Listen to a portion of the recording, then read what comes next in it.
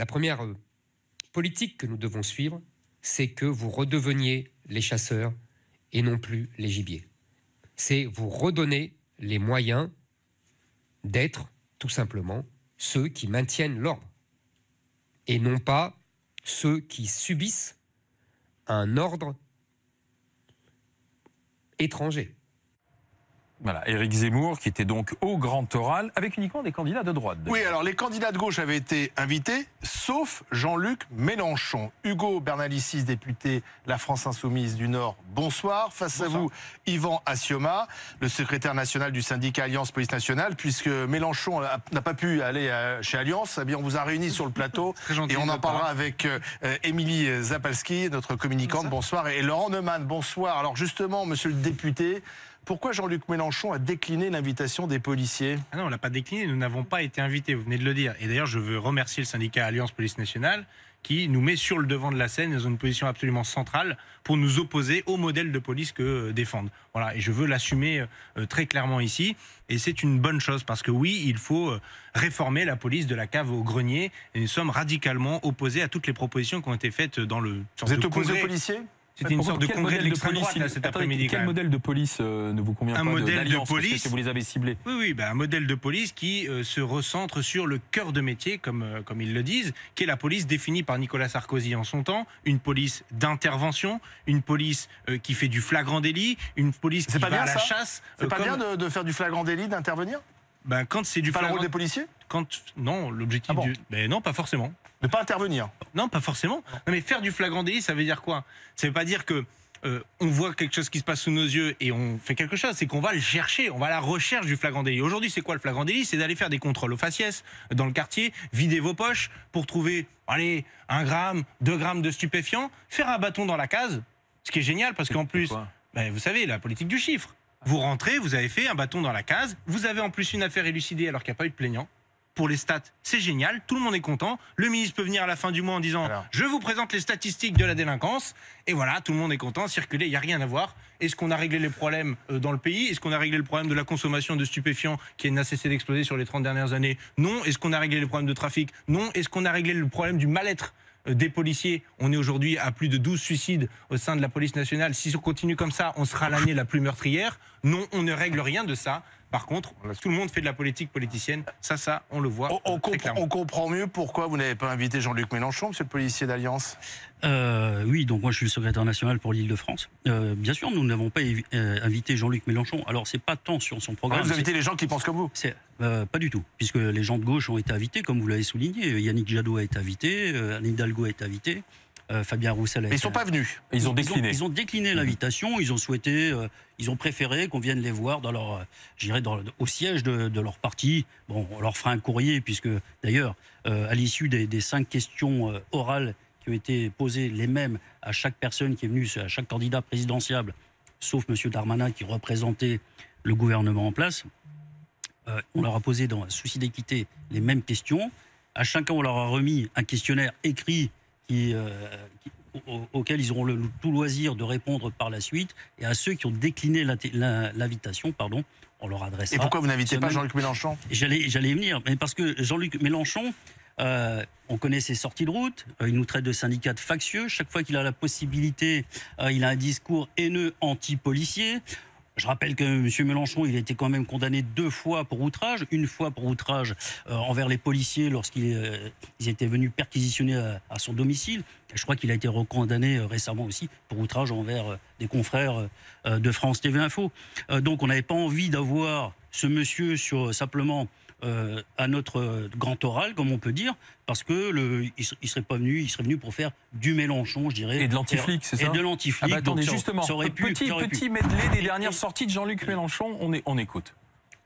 Nous devons cesser d'être une des rares polices d'Europe qui utilise de telles violences contre la population. Ne vous excusez pas euh, de porter la parole de policiers qui sont parfois eux-mêmes des brutes.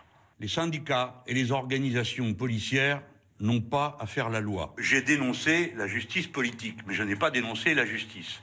Et je demande qu'on ne me confonde pas avec les factieux de la police. Ceux-là sont un venin à l'intérieur de la police. J'ai une très haute idée de la police républicaine. C'est la raison pour laquelle je dis que celle-ci ne l'est pas. Il y a beaucoup de monde qui déteste la police, c'est le temps de s'en rendre compte. Hein. C'est un problème d'ailleurs. Euh, Mélenchon, d'ailleurs, qui dit que le syndicat Alliance est un syndicat d'extrême droite. Oui, bah c'est facile, de- c'est facile de jeter une étiquette. euh, euh, alors que nous, ce qu'on combat simplement, euh, c'est d'abord, d'ab- enfin quand je dis ce qu'on combat, d'abord notre première négociation, elles se font avec l'administration, et surtout, ce qu'on remet en cause en général, c'est des dysfonctionnements au sein de notre administration. On ne fait pas de politique politicienne. C'est bizarre, on est souvent sur votre acte. hein, quand même, hein. maintenant- Sur votre acte interne à la police, il y a souvent du Jean-Luc Mélenchon. Merci pour la publicité. encore Mais chaque fois. fois, on vient de l'entendre, euh, il nous traite de barbares, il nous traite de voyous, bon, il fait du Mélenchon.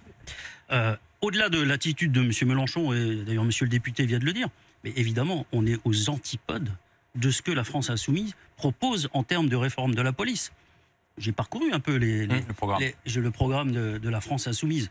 Euh, ce qu'on veut, c'est, c'est eux qui le disent, des, euh, des policiers dans les quartiers non armés, des, zo- des zones où on n'a pas le droit de faire des contrôles d'identité, De plus En fait, de bac, en fait, de plus la bac. plus de bac. Démantèlement de la BAC. Déjà, rien que sur les, premiers, les deux premiers items que je viens de citer, donc en fait, on voit bien que la France insoumise ne souhaite pas une police, mais souhaite des agents d'ambiance dans la rue. hein, ça n'a rien à voir avec une police nationale. Alors, L'argument de la suppression des bacs, mais là aussi c'est plus que risible, puisque l'argument c'est de dire on va supprimer les bacs. Je crois qu'en Oui. fait ils ne doivent pas savoir ce que c'est une brigade anticriminalité. Parfaitement ce que Si on a une brigade anticriminalité, c'est monsieur le député, c'est parce qu'il y a de la criminalité.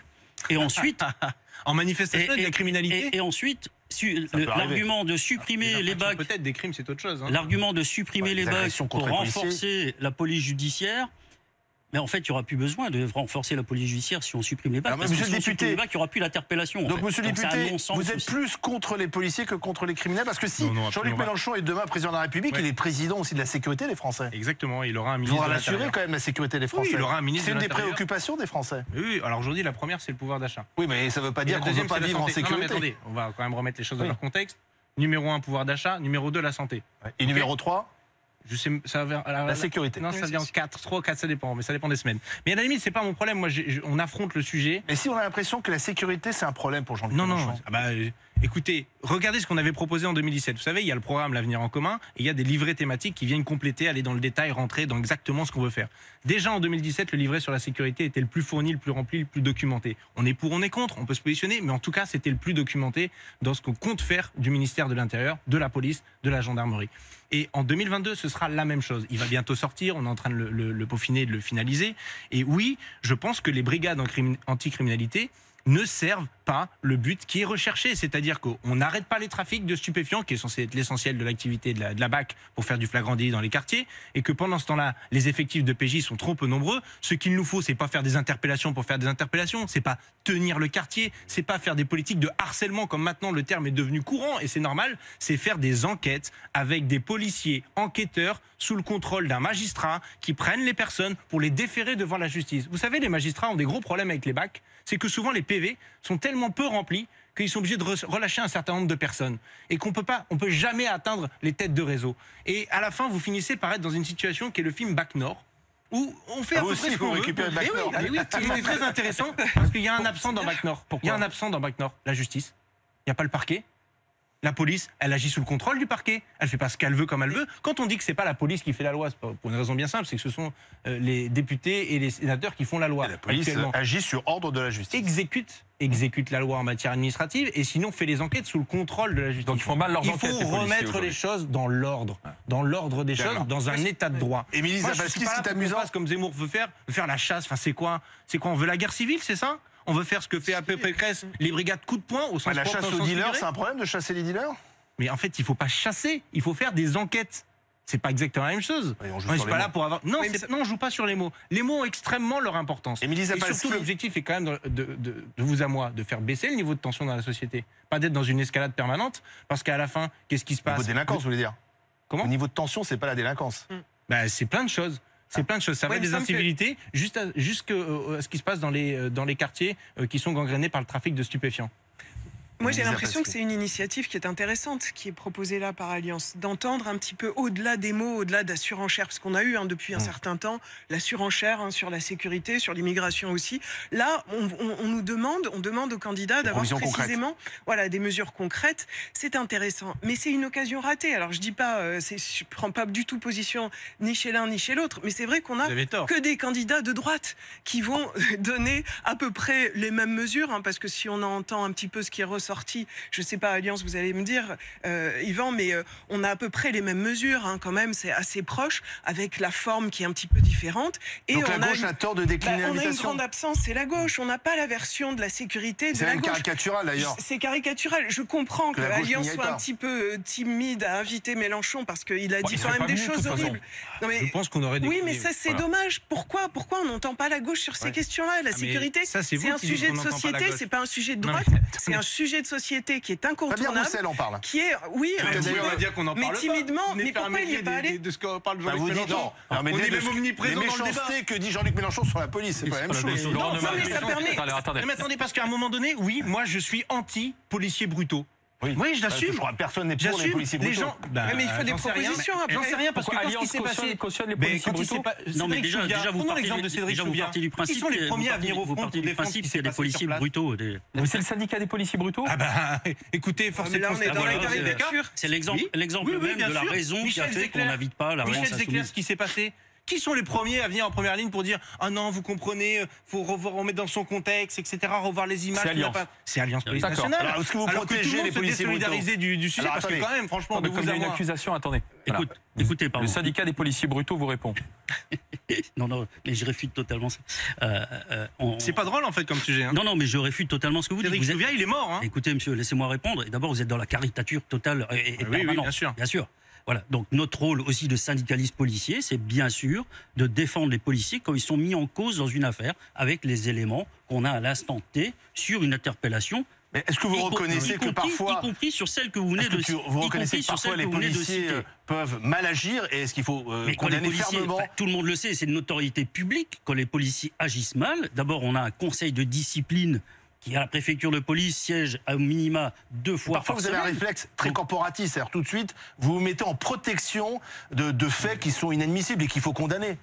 Mais parce que, c'est, c'est- enfin, ça, là, on parle un peu dans le vide. Euh, je- on peut pas. Non, on parle sur d'envie, l'affaire, on parle par exemple. Cédric Chouviat Michel Chouviat, Zecler par exemple. Voilà. Oui, mais même sur ces deux affaires-là, la- les premières fois qu'on a des vidéos qui rapportent cette affaire, on, on le sait tout le temps, les vidéos, les premières qui sortent dans la presse, d'ailleurs même sur, euh, sur l'affaire Zecler, les vidéos, elles ont- on voit bien qu'elles ont été instrumentalisées euh, par le reporter qui les sort. D'ailleurs, c'est une pièce d'enquête, on s'étonne. de vos propos hein, moi euh, Mais je suis maître de mes propos, c'est instrumentalisé, je, je- Oh, je- oui, bon. je le confirme. D'ailleurs, on s'étonne que cette vidéo sorte dans la presse alors que c'était un élément d'enquête et que l'enquête ne faisait Enfin, que démarrer. c'est oui, c'est une façon Donc- aussi de- de- d'explorer ce genre de comportement. Le, le fait Écoutez, que que la vidéo sorte une fois que l'enquête est finie, qui pourrait éventuellement disculper quelqu'un qui aurait vraiment commis une faute. Là, ok, on peut. on Pourquoi peut- la on vidéo sort on Alors, attendez, on vidéo va continuer la discussion. Là, même, monsieur- monsieur non, Monsieur Monsieur euh, Bernalicis, Ma- Maintenant, Il y avait Émilie pas d'enquête. Zapalski, Laurent Attendez, on on continue, on continue, on continue la discussion dans un instant sur BFM TV, dans BFM Story, à propos de la police et du grand oral des candidats. Et sur le plateau de BFM Story, ce soir, on parle de ces candidats euh, à l'élection présidentielle à droite, surtout, qui sont venus euh, faire des propositions aux syndicats de police Alliance, en l'absence des syndicats de gauche, de Jean-Luc Mélenchon euh, en particulier, d'où le débat tendu qu'il y a ce soir entre le représentant d'Alliance et euh, Hugo Bernalicis, député de la France Insoumise du Nord. Laurent Neumann, euh, on peut regretter quand même l'absence de, de la gauche. Alors, Jean-Luc Mélenchon n'était pas invité, les autres l'étaient, mais ils avaient autre chose à faire. Ils ont parlé logement d'ailleurs. On était d'ailleurs un peu dans la caricature, parce que la gauche parlait logement, tandis que la droite parlait sécurité. C'est l'ancien monde. Euh, mais est-ce que la gauche n'aurait pas tout à gagner d'aller chez Alliance, justement, dire que la sécurité c'est important, mais on n'a pas les mêmes réponses que les candidats de droite ou d'extrême droite? Eh ben, je ne crois pas. Ah bon? Je ne crois pas, et pour une raison extrêmement simple, c'est qu'on fait depuis ce matin comme si le syndicat Alliance, c'était la police. Mais non, je suis désolé, c'est un des syndicats représentatifs de la police, ça ne fait aucun doute, mais monsieur ne me démentira pas, il y a d'autres syndicats, d'autres syndicats, d'autres corporations à l'intérieur de la police, des syndicats de commissaires, des syndicats FO, euh, UNSA, etc. On fait comme si Alliance était, était la police. On avait déjà vu ça d'ailleurs, si vous me permettez, au moment de la manif du 19 mai devant l'Assemblée nationale. Euh, Alliance a des idées sur la police et elles sont parfaitement légitimes. Mais lorsque les candidats décident d'aller plancher devant un syndicat, c'est un souci. On aurait pu imaginer un grand débat sur la question de la sécurité, mais je comprends les candidats de gauche qui n'y vont pas. Euh, pourquoi, pourquoi aller débattre d'un sujet devant un syndicat qui a des options? C'est un syndicat, mais qui a des options politiques, des Donc, ils options vont- ils- sur la ils doctrine. doivent aller dans- devant de les syndicats de gauche de la police. alors, je vais vous prendre un autre exemple. Imaginez, imaginez que le syndicat de la CGT des transports organise un grand débat, un grand oral devant tous les, pour tous les candidats à la présidentielle sur la politique de transport dans ce pays. Hmm. Bah, je suis sûr que les candidats de droite n'iraient pas plancher devant la CGT des transports. Et tout le monde le comprendrait. Tout le monde le comprendrait. Euh, J'ai regardé dans les semaines qui viennent, la mutualité française fait un grand débat, grand oral avec tous les candidats sur la santé et la protection sociale. Mais la mutualité française est légitime, c'est une institution. 15 jours plus tard, la Fédération hospitalière de France fait un grand débat sur l'hôpital. Tous les candidats vont y aller, mais c'est légitime, c'est une Mais un institution. syndicat, c'est pas possible. Mais un Laurent- syndicat qui représente une, Bah oui, une version ouais. de la police, bah non, je Moi, ça comprends me que choque les... pas parce qu'on est, on est à un temps de communication qui est complètement différent. Euh, On a TikTok, on a YouTube. Regardez un YouTube, une YouTubeuse maintenant qui interviewe euh, des politiques. En fait, chaque politique saisit la moindre occasion et la société civile demande ça aussi, d'avoir ces occasions d'entendre les candidats dans des, dans des circonstances en effet différentes de ce qu'on avait avant. Euh, Je sais pas, un Je journal d'accord, télé. mais euh, très à honnêtement, 20 Émilie, très honnêtement, pour reprendre une phrase de Coluche, des partis de gauche ou des candidats de gauche qui vont plancher sécurité devant le syndicat Alliance, c'est l'histoire du crocodile qui rentre dans une Oui, maroquinerie. mais je suis Alors, pas bah, justement, juste, pardon. juste, moi, je Ouais. suis pas choquée et je pense que Ah ce qui est choquant, c'est que la gauche ne prenne pas sa place là-dedans parce que vous en avez parlé, violence policière, pourquoi on n'en parle pas? Des choses comme ça. Alors, c'est Alliance qui l'organise et peut-être que c'est plus compliqué, mais ça serait l'occasion. cinq ans qu'on en Là, parle, qu'est-ce hein. qu'on a eu? Là, qu'est-ce qu'on a eu? On a eu que des candidats de droite ou d'extrême droite qui parlent d'une manière quand même de Karcher, qui parlent de conflit de civilisation et on les laisse. Alors, justement, euh, Et qui sont, sont d'accord avec le Et à la limite, Alliance. Juste, juste- oui. juste Ah oui. pour finir, euh, dans ces candidats, ce qui est quand même intéressant, c'est qu'au-delà des, des- Ah ouais. de la surenchère, on a quand même. Alors, il y en a une qui s'en sort avec un volet complètement différent, le positionnement différent. C'est Marine Le Pen. Marine Le Pen qui de- revient, redevient presque humaine avec euh, le côté social, les conditions de vie euh, et les moyens de la police, euh, le parcours professionnel. Donc, mais on n'a que des propositions Non, de droite et d'extrême droite. La sécurité, encore une fois, c'est pas que de droite et d'extrême Là, droite. on peut pas reprocher à Alliance. avec la conclusion. euh, elle- ils ont invité tout le monde. Bah mais non. finalement, euh, sauf Mélenchon. oui, oui, moi je mets Mais- pas ça sur le dos forcément. Mais ça veut dire mais- quand même que vous aviez aujourd'hui des gens euh, face à vous euh, qui vont dans le sens de vos propositions. Vous n'avez pas été choqué ni par les Mais interventions de Valérie Pécresse, attendez, quand même, ni hein. Valérie Pécresse, ni Marine Le euh, Pen, ni d'Éric Zemmour. D'abord, il n'y avait aucun but de les départager, c'était pas notre rôle. Le- le- ce qu'on souhaitait, c'était justement, c'était pour ça qu'on a invité tous les candidats présidentiables, en dehors de celui qu'on a cité tout à l'heure, dont on assume totalement ne pas l'avoir invité.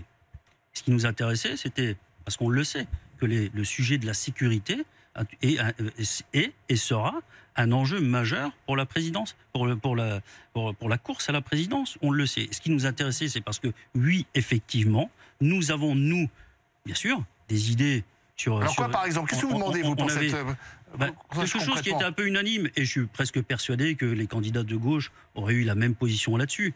On, on a vu que les candidats qui étaient interrogés, là, encore une fois, je le disais tout à l'heure, on a posé les, cinq mêmes questions orales à chacun, justement, pour pas qu'il y ait ni de, de- de- de questions orientées, si on peut dire, parce que c'est un peu sous-entendu dans ce que vous dites. Je suis pas d'accord avec vous quand vous dites que euh, n'auraient pas eu intérêt à venir. Ils auraient dû venir et on aurait souhaité qu'ils viennent pour justement savoir qu'est-ce qu'ils préconisaient en matière de sécurité. Je disais, il y a quelque chose sur laquelle ils ont été unanimes quasiment, c'est sur la réponse pénale. Bien sûr que nous, Alliance, on a une attente forte sur la réponse pénale en matière d'agression envers les policiers. Ça, c'est très- pardon, c'est pas, une- c'est pas une nouveauté. Par- ça fait, pardon de vous, ça fait. de vous Laissez-moi couper. Non, mais c'est très important ce que vous dites. Euh, effectivement, et je me souviens, c'était l'un des slogans de la fameuse manif du 19 mai. En gros, le problème de la police, la hein, je reprends vos termes, c'était la justice. Tout à fait. Bon. La réponse On aurait pu imaginer que ces Mais- candidats venant travailler devant des, un syndicat policier Oui. se posent la question, par exemple, de savoir pourquoi seulement 10% des cambriolages sont élucidés dans ce pays. Quel est le problème Il manque pourquoi, pourquoi scientifiques, 38% des homicides sont élucidés seulement Pourquoi 15% des agressions contre les personnes sont élucidées seulement Que je sache, et je suis sûr que vous ne me démentirez pas pour le coup, ça n'est pas le problème de la justice. Ça, c'est bien la police qui élucide les enquêtes. Et or, cette question-là, qu'est-ce qui s'est passé euh, ce matin? En gros, des candidats sont allés dérouler leur programme devant un auditoire quasiment acquis à toutes les propositions. Et encore une fois, je comprends. Je vais même aller plus loin. Je me demande si euh, la place de Gérald Darmanin était bien à cet Bah, endroit-là. Gérald Darmanin est allé au milieu de candidats à l'élection présidentielle oui, défendre ça, le bilan un peu du étrange, ça. gouvernement. Reconnaissez que c'est quand même étrange. Oui, Devant un seul candidat syndicat de police. Un seul syndicat de police. Ouais. Moi, je trouve Non, il a dit qu'il espérait que ce serait que ce sera Oui, mais le enfin, C'était candidat. étrange que Darmanin, pardon, soit là. Il était, il n'est pas candidat. Écoutez, il a accepté euh, de venir, on va pas lui patron, reprocher. il pas. A accepté de venir, on va quand même pas lui reprocher d'être venu. Je veux dire, il faudrait reprocher plutôt à ceux qui ne sont pas venus, justement, de ne pas Est-ce être qu'il est venu venus. vous caresser dans le sens du poil? Vous, vous avez fait, vous avez fait une petite erreur tout à l'heure, que vous avez parlé de la manifestation du 19 mai, tous les syndicats étaient là. Et Oui. Tous les syndicats étaient représentés, mais même ce matin. C'est un autre problème parce que Même vous ce avez matin- vampirisé l'intégralité d'une C'est mobilisation. vrai que tous les syndicats étaient là. Mais Juste ils, sur se un sont slogan. tous, ils, se, ils se sont tous Juste sur un slogan qui n'était pas prévu entre vous, entre syndicats. ils se sont tous exprimés en tribune, Ouais, ouais. y compris ceux avec qui vous êtes un peu plus proches. Ils ont, eu, ils Exactement, ont eu il le a, loisir de tous hein. s'exprimer. Ils ont eu le loisir de tous s'exprimer en tribune. Ce matin, aujourd'hui, enfin aujourd'hui aussi, dans la salle, il n'y avait pas juste Alliance. Le syndicat des commi- un syndicat de commissaires était là, un syndicat d'officiers était là, une Sapolice était là. Ah, mais, Le- le- nous représentons comment mais le sujet, c'est Nous- nous représentons- vous êtes Nous représentons. Alliance aussi euh, les policiers administratifs, techniques, enfin le personnel administratif, technique et scientifique. Euh, J'y étais pas syndiqué chez vous, j'étais chez les autres. Merci. Euh, mais en- sur, sur notre corps, donc le corps encadrement et application, nous sommes vous avez choisi votre candidat? Mais c'était pas un De choix. tous ceux qui ont présenté les, les propositions, Non. vous, avez un- vous en avez un euh, Le- qui vous le- a plus séduit que d'autres ou pas? Non, le but n'était pas de choisir un candidat. Le but Alliance ne donnera pas de consigne de vote ou... Alliance ne donnera pas de consigne de vote. Le but, encore une fois, était de D'accord, connaître quel était le sujet de sécurité qui faisait partie des programmes présentés par les Merci messieurs, merci messieurs dames. Ce, ce débat sur euh, ce grand oral de, de la police avec les candidats à l'élection présidentielle, il se poursuivra tout à l'heure d'ailleurs sur BFM TV chez Yves Calvi. Euh, Est-ce qu'on est dans une surenchère sécuritaire Ce sera le thème de Calvi 3D à 18h50.